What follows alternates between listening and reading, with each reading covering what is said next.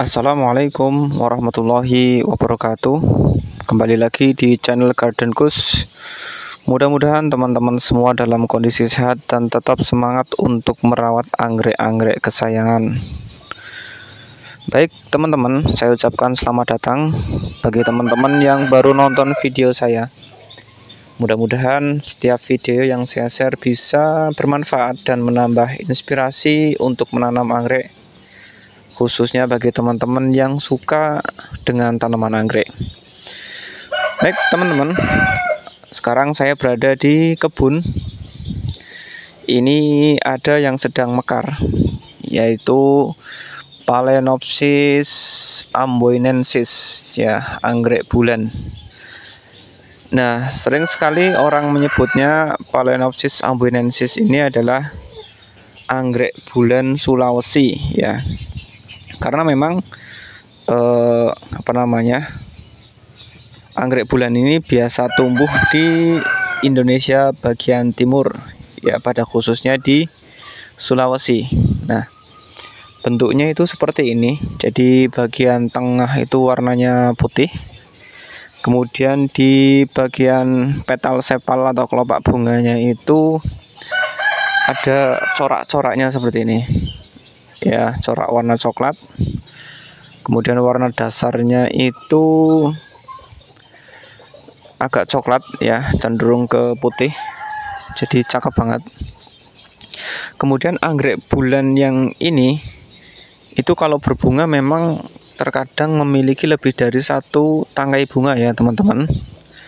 Jadi teman-teman kalau mau ngoleksi anggrek ini sangat apa namanya sangat bagus ya karena dia itu kalau berbunga bisa kemeroyok ya. Dan ini plan yang pertama itu memiliki lima tangkai bunga ya teman-teman.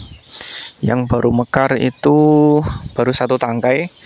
Kemudian lainnya ini baru kenop. Kemudian yang lainnya ini masih spike. Nah ini. Nah ini plan yang kedua juga sedang mulai mekar ini ini bunganya. Kemudian kalau pagi hari ya teman-teman ini kan kebetulan pengambilan videonya itu sedang pada waktu pagi hari ini. Jadi aroma harumnya itu sangat menyengat ya teman-teman. Nah ini saya kurang lebih jaraknya satu meter itu sudah tercium aroma bunga anggrek Phalaenopsis amboinensis ini teman-teman. Nah jadi harum ya harum banget ini bunganya. Nah ini juga plan yang ketiga sedang mulai mekar ini teman-teman. Nah ini warnanya cakep banget. Nah kalau teman-teman mau nanam Phalaenopsis jenis ini ya saya sarankan itu eh, model penanamannya itu seperti ini jadi ditempel. Teman-teman bisa menggunakan papan kayu seperti ini bisa menggunakan kayu yang keras ya bisa kayu jati kayu kelengkeng atau kayu kopi. Ya. Nah ini teman-teman lihat akarnya sehat banget. Itu sudah nempel kuat di papan kayu teman-teman. Nah kemudian ini talinya ini menggunakan tali bangunan ya teman-teman yang biasa dipakai oleh tukang. Ini tali bangunan. Nah ini yang contoh ditanam di papan kayu kemudian sampingnya kita gunakan media papan pakis teman-teman. Dan juga tidak kalah suburnya lihat plannya juga.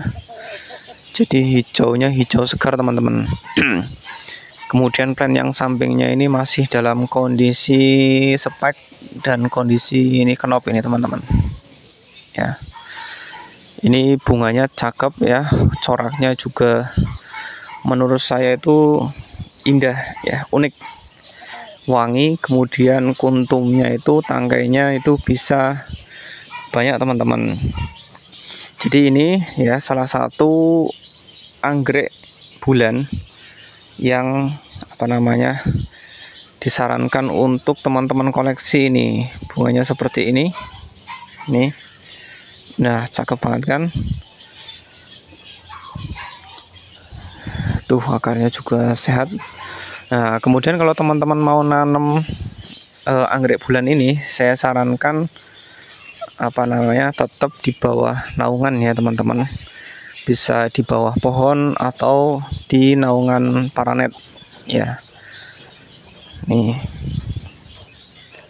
Baik teman-teman demikian video kali ini ya. Berkaitan dengan salah satu jenis anggrek bulan yang pantas untuk teman-teman koleksi ya salah satunya ya ini anggrek bulan Phalaenopsis amboinensis baik teman-teman Demikian video singkat dari Garden Kus. Mudah-mudahan video ini bisa bermanfaat ya untuk teman-teman yang mau nambah koleksi anggrek bulannya. Salam anggrek dari Jogja. Assalamualaikum warahmatullahi wabarakatuh.